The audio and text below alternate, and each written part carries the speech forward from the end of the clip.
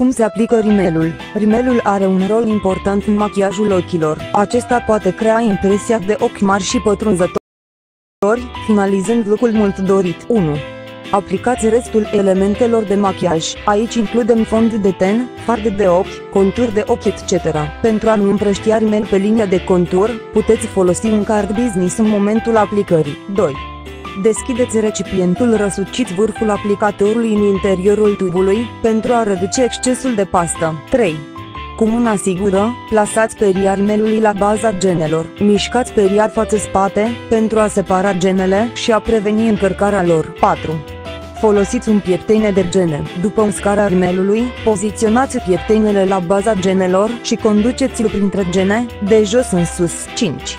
Ținând pensula în poziție verticală, aplicați rimel pe genele superioare și inferioare, pentru a le colora delicat. 6.